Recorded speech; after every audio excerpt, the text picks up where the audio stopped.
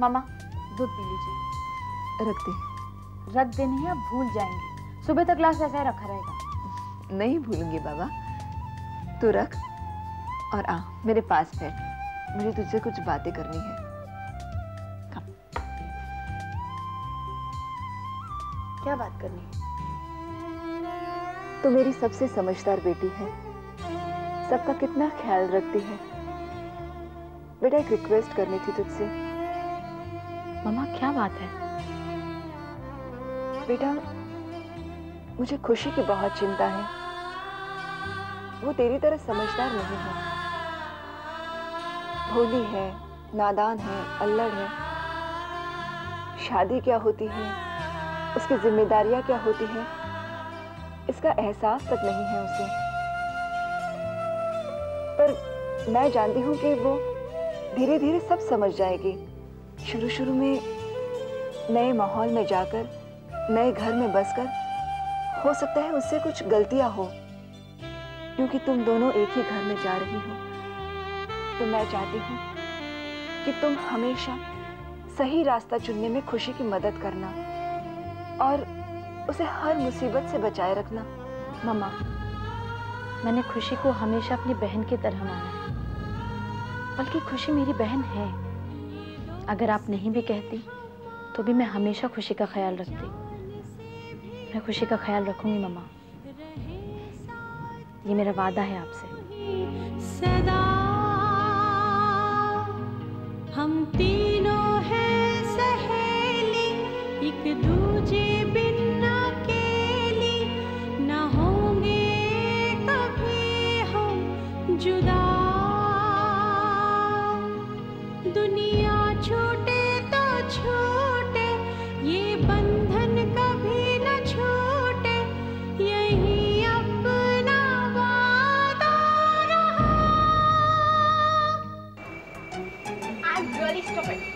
गलती मेरी है कि मैंने तुम्हें फ़ोन करके गिफ्ट खरीदने के लिए यहाँ पर बुलाया। जबकि मुझे पता है कि हम दोनों की चॉइस कभी नहीं मिल सकती। राइट तुम्हारे साथ प्रेजेंट खरीदने के लिए कोई गधा ही आ सकता है। क्या कहा तुमने? मैंने तुमसे कुछ नहीं कहा मैंने अपने आप को गधा कहा। अरे शादी का तोहफा नए जोड़े के लिए एक संदेश होता है उनकी ब्याहता ज़िंदगी के बारे में।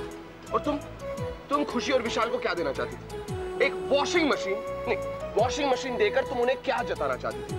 कि वो हमेशा साफ़ सुथरे रहे हर वक्त अपने कपड़े धोते रहे। क्यों? अभी वो गंदे और बदबूदार कपड़े पहनते हैं बताओ। एक्सक्यूज मी मिस्टर तुम उन दोनों के लिए क्या खरीदना चाहते थे? वीसीआर हाँ, तुम्हें पता है आजकल ना कबाड़ी वाले के पास वीडियो कैसेट्स नहीं मिलती है। और तुम्हारा ये गिफ्ट उन्हें कौन सा संदेश देने वाला था? यही ना कि वो दोनों रिटायर्ड बुढ़ों की तरह अपने टीवी के सामने बैठे हाथ में कॉफ़ी का मग ले और बाबा आदम के जमाने के पुराने पिक्चर्स देखे। शी यू व्हाट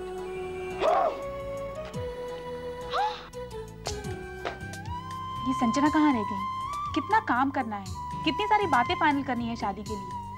हम यहाँ बेवकूफों की तरह बैठकर उसका इंतज़ार कर रहे हैं। कभी भी वक्त पर ना पहुँचने की कसम खा रखी है संजना ने। अरे खुशी उसको ऑफ़िस के बाद कबीर से मिलने जाना था। कुछ काम था उसे? क्या? तभी। तभी उसे इतनी देर हो गई है। क्या मतलब? वो दोनों कहीं बैठकर किसी बात पर झगड़ रहे होंगे। बिना ये सोचे कि कोई उनका इंतज़ार कर रहा है। सच खुशी। इन दोनों के लिए ये कहावत है ना एकदम फिट बैठती है राम बनाए जोड़ी। एक अंधा एक कोड़ी। लेकिन उन्हें जोड़ी मत कहना। अगर संजना ने सुन दिया तो मालूम है क्या कहेगी? मारूँगी।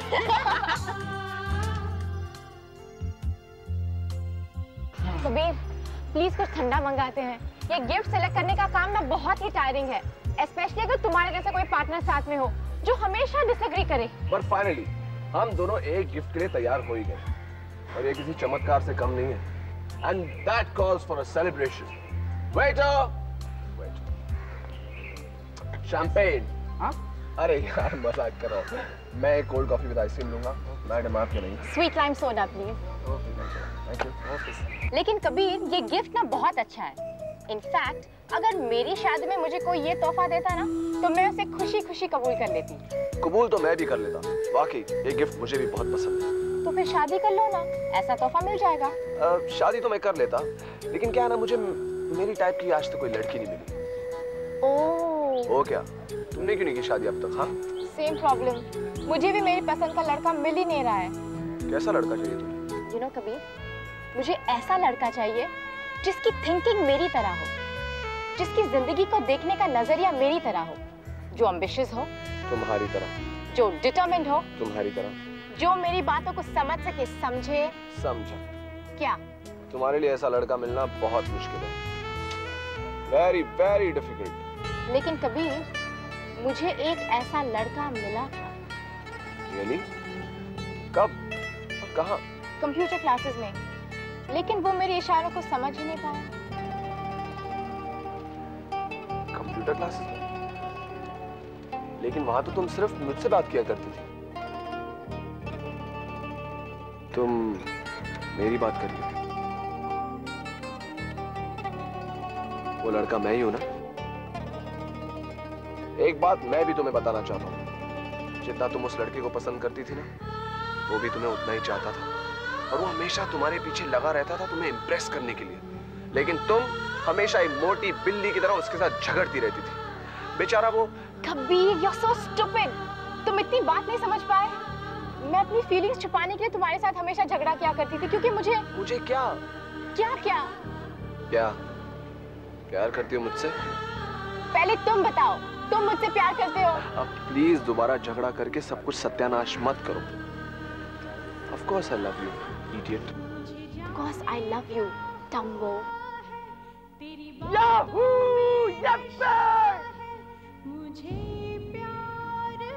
idiot Dumbo. पहले क्यों नहीं बताया? इट्स ओके यार। वो टोके देखो अब हमने पहला कदम उठाने में इतनी देर लगा दी है। दूसरा कदम उठाने में बिल्कुल भी देर नहीं लगानी चाहिए। कौन सा दूसरा कदम? अब भी बताता हूँ।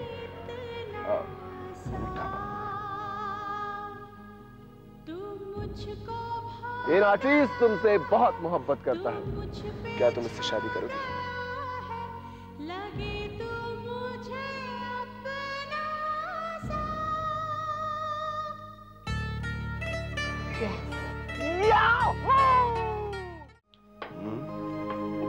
मॉर्निंग मॉम मॉर्निंग डैड अरे आओ आओ बेटे आओ। Good morning. कबीर एक अच्छा मैसेज आया। सुनोगे? मॉम डैड मैं आप दोनों से कुछ ज़रूरी बात करना चाहता हूँ। हाँ हाँ हाँ बोलो बेटे। किस बारे में बात करनी है? अपनी शादी के बारे में। अपनी शादी के बारे में? हमारे तो कान तरस गए थे बेटा। तेरे पापा और मैं कई दिन से यही बात कर रहे थे कि तू हाँ कब करेगा। मॉम आप प्लीज़ मुझे बोलने का मौका देंगे हाँ हाँ बोल। पर देख लड़के की बिल्कुल टेंशन मत करना। अब तूने हाँ कर दिया अरे ऐसी लड़की लाऊँगी कि सारी दुनिया देखेगी। गिल खानदान में न ऐसी कभी बहू आई है और न कभी आएगी। सबकी आँखें फटी की फटी रह जाएँगी। और कभी देख दो चार लड़कियाँ तो मैंने देख रखी हैं। तो बस उनको देख ले मिल ले हाँ कर ले। मैं अभी एसएमएस करती हूँ। मॉम आपको किसी को एसएमएस करने की ज़रूरत नहीं है। मैं अपने लिए लड़की पसंद कर चुका हूँ। क्या? ग्रेट ग्रेट ये बड़ी अच्छी बात है बेटे। इसका मतलब हमें लड़की ढूँढने की कोई ज़रूरत है ही नहीं। एक काम करो बेटे तुम हमें उसे मिलवा दो ताकि हम शादी की तैयारियाँ शुरू कर दें। क्यों? ऐसी कैसे तैयारियाँ शुरू कर देंगे हम? आप तो चुप ही रहिए जब से बोल ही रहे हैं आप। कौन है वो लड़की? आप आप दोनों से जानते हैं। कौन है वो? डैड संजना खुशी और श्रुति भाभी की दोस्त। क्या? हाँ मॉम। हम दोनों एक दूसरे से ये शादी नहीं हो सकती कबीर। लेकिन क्यों? मुझे वो लड़की पसंद नहीं है। वो इस घर की बहू बनने के लायक नहीं है। कबीर इस दुनिया में तुम्हें और कोई लड़की नहीं मिली? अरे मुँह फट बदतमीज बेहया लड़की है वो। बड़ों की इज़्ज़त करना नहीं जानती वो। घर का कोई काम नहीं जानती वो। वो इस घर की बहू नहीं मानेगी तुझे खुश नहीं रखेगी। लेकिन मॉम देखो कबीर मैं तुम्हारे लिए एक ऐसी लड़की लाऊँगी जो संजना से बेहतर होगी। शायद आपकी नज़रों में लेकिन मेरी नज़रों में संजना से बेहतर कोई नहीं।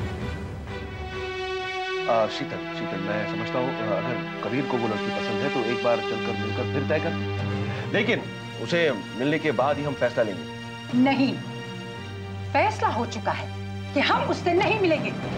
अगर कोई बहू बनकर इस घर में आएगी तो उसका स्वभाव उसकी सास से मिलना चाहिए। क्योंकि उन दोनों को साथ में रहना है। संजना से मैं कई बार मिली हूँ लेकिन उसका स्वभाव मेरे से नहीं मिलता है और ना ही मिलेगा। आप उससे कई बार नहीं मॉम सिर्फ़ दो बार मिल चुकी और सिर्फ़ दो मुलाकातों में आपने फैसला कर लिया कि आपका और उसका स्वभाव नहीं मिलता। शादी कोई खेल नहीं। उठकर किसी से भी शादी कर लो। ये दो परिवारों का मिलन है। सब कुछ देखना पड़ता है परखना पड़ता है। संजना कैरियर माइंडेड है। वो हमेशा बिज़नेस वुमन बनने के सपने देखती है। वो क्या घर संभालेगी? बोल रहा उसे। मैं इस घर की बहू नहीं अपनी बीवी को चुनने की बात कर रहा हूँ मॉम। एक ऐसा जीवन साथी जिसके साथ मैं कदम से कदम मिलाकर चल सकूँ। और संजना में वो सब गुण हैं जो मैं अपनी बीवी में चाहता हूँ। मैं संजना से ही शादी करूँगा। कभी कान खोल के सुनना। मेरे जीते जी वो लड़की इस घर की बहू नहीं बनेगी। एंड दैट्स फाइनल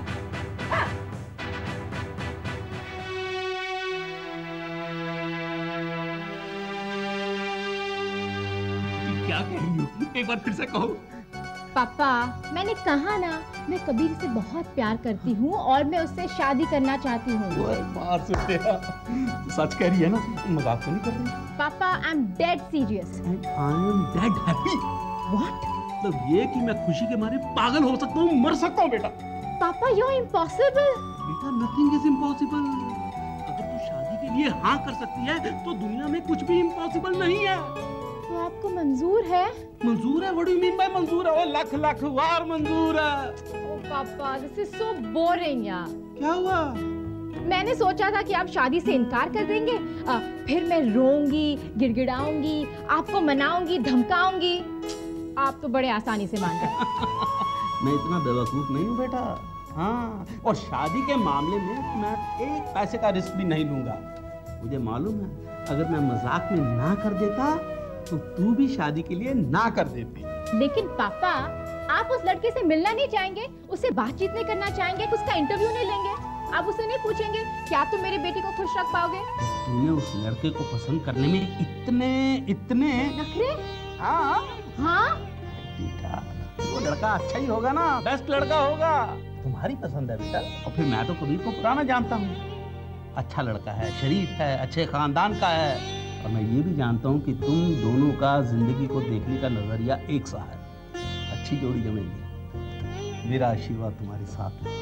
पापा यू सो स्वीट आपको मेरी पसंद पर इतना भरोसा है। थैंक यू पापा। यू मोस्ट वेलकम अच्छा अब मुझे क्या काम करना होगा? मैं ये करता हूँ। पापा जस्ट रिलैक्स आप इतने एक्साइटेड क्यों हो रहे हैं? आज शाम को मैं कबीर को क्लब में मिलने वाली हूँ। उसके बाद मैं उसके मम्मी पापा से मिलने वाली हूँ। फिर मैं उसे घर पर लेकर आऊँगी। डन डन लेकिन ये सब इतना अचानक हुआ कि मेरी भी समझ में नहीं आ रहा। तू और संजना एक साथ और शादी? यार ये सब कैसे हुआ? और तुम दोनों शादी के लिए राज़ी कैसे हो गए? राज़ी हो गए, ये ज़्यादा ज़रूरी है। कैसे हो गए से क्या फ़र्क पड़ता है? लेकिन अब परेशानी की बात यह है कि शीतल आंटी ने शादी को मना कर दिया। लेकिन कबीर अगर वाकई संजना से प्यार करता है, शादी करना चाहता है तो प्रॉब्लम क्या है? सही कबीर, अगर मियाँ बीबी राज़ी तो क्या करेगा काजी? आई मीन आंटी, देख, आंटी से तो तुझे परमिशन मिलने वाली नहीं तुम शादी कर लो, और एक बार तुमने शादी कर ली ना तो घर वालों को तो मानना ही पड़ेगा, उनको स्वीकार करना पड़ेगा।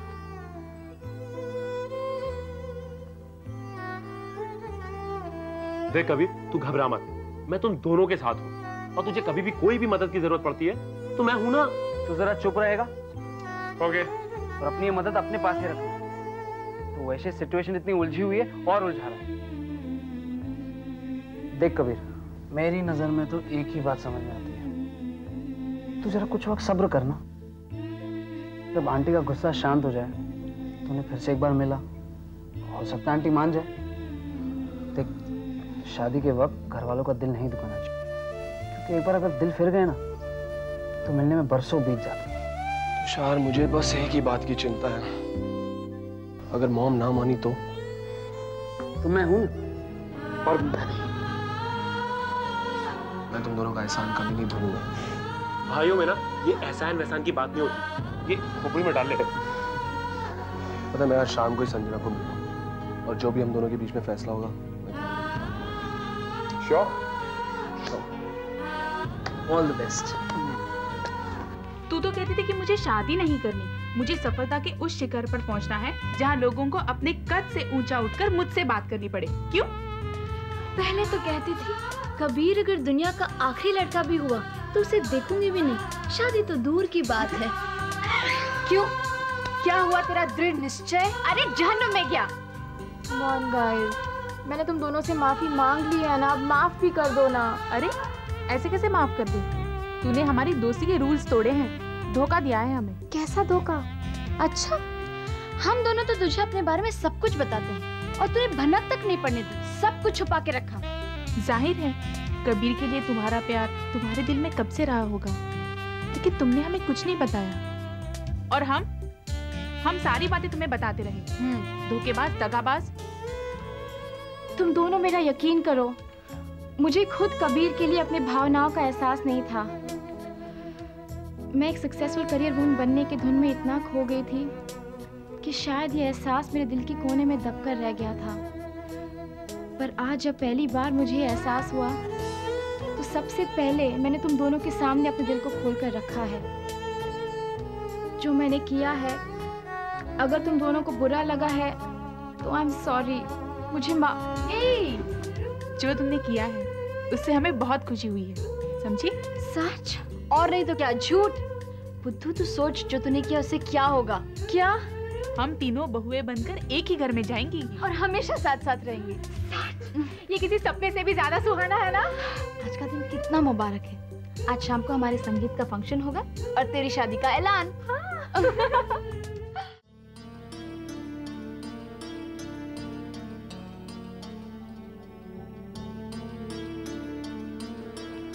सर कुछ चाहिए आ, नहीं कुछ नहीं थैंक यू अच्छा सुनो। एक और कोल्ड ड्रिंक लिया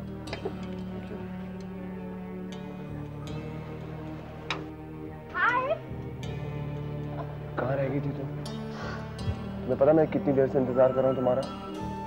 लुक एट यू तुम बिल्कुल एक तजुर्बेदार आशिक की तरह ना डायलॉग्स फेंक रहे हो। अरे बाबा मैं खुशी के यहाँ गई थी उन दोनों को न्यूज़ सुनाने। वो इतने खुश है कि मुझे आने ही नहीं दे रहे थे। अच्छा ये सब छोड़ो। तुमने अपने डैड से बात की।